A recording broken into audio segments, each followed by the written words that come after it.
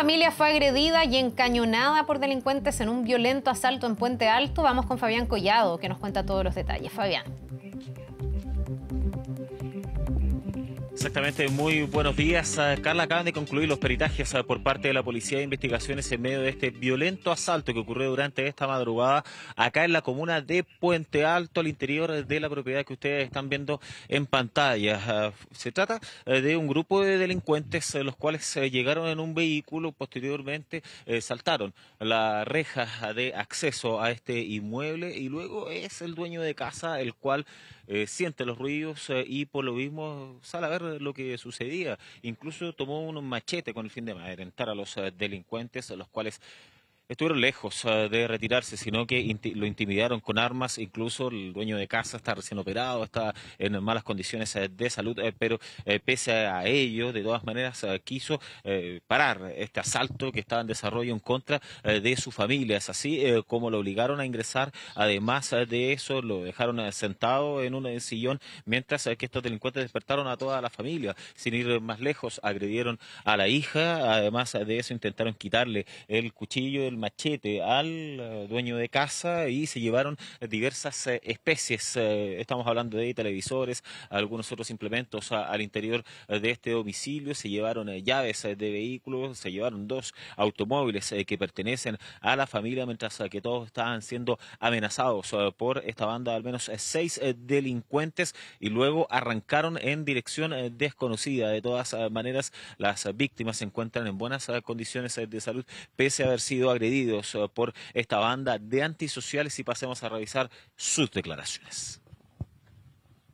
Escuché a mi papá gritar, sale de aquí, sale de aquí, salí de la pieza y vi que estaban rompiendo la puerta de mi casa.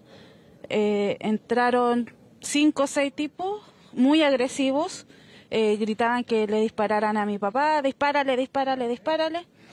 Eh, yo tiraba a mis papás para atrás, mi mamá la agarraron del cuello con un palo de escoba, la tenían aquí. Fueron súper violentos, súper violentos. Me empezaron a pedir las llaves de los autos, le pasé las llaves de mi auto. Que, que estaba atrás mío decía, pégale el balazo, pégale el balazo. Y tenían pistola. Habían tres tienen que haber tenido pistola, pero era... Y yo andaba con un machete de este lado que se lo llevó, se lo llevaron. Un machete. Y yo por un momento pensé hacer un corte, pero después dije, ¿qué es lo que me pasa a mí después?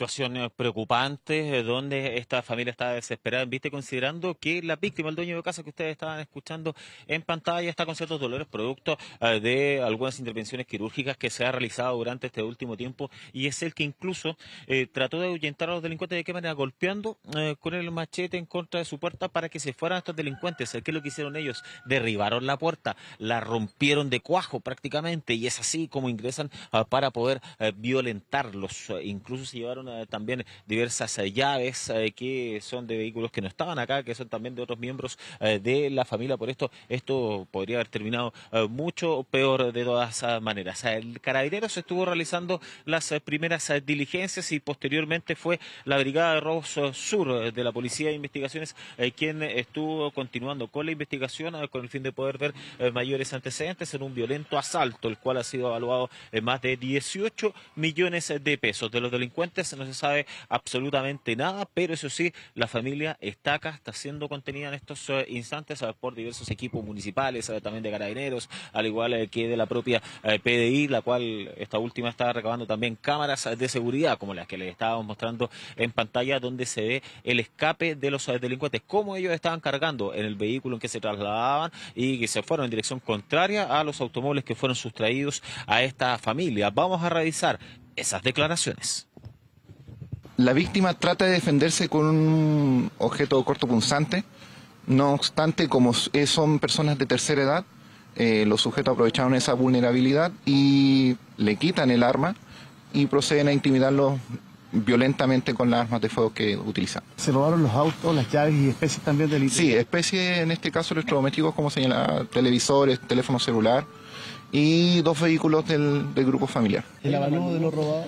Alrededor de 18 millones de pesos.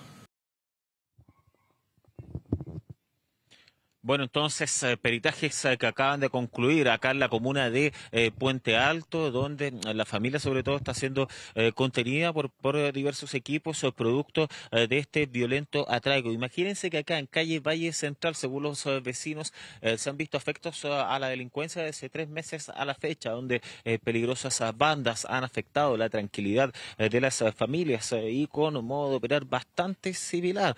O sea, gente que está durmiendo y las atacan con eh, diversas armas ah, para poder eh, sustraer diversas especies eh, y luego arrancan en direcciones desconocidas. Hasta el minuto no han habido detenidos respecto a los últimos atracos, tampoco de este que está recién en evolución porque recién están los peritajes continuando en torno a este caso. Uno de los puntos importantes que se están analizando, por ejemplo, algún tipo de huella que estuvo el laboratorio de criminalística de la PDI en este lugar, sobre todo en vista y considerando de que registraron prácticamente todo el inmueble, todas las habitaciones eh, para poder eh, llevarse estas especies de valor, eh, también algunos artículos tecnológicos de los cuales todavía no se conocen el paradero ni tampoco de los dos vehículos que fueron sustraídos en este violento asalto, donde en dirección hacia el poniente arrancaron los delincuentes, que son las imágenes de cámaras de seguridad que ustedes ven, y los otros delincuentes con los vehículos sustraídos en dirección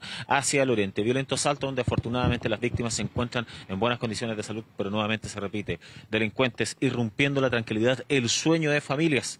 Por ejemplo, en este caso, el dueño de casa que recién operado tuvo que enfrentar a los delincuentes, pero afortunadamente se encuentran en buenas condiciones de salud eh, los afectados eh, de este violento atraco.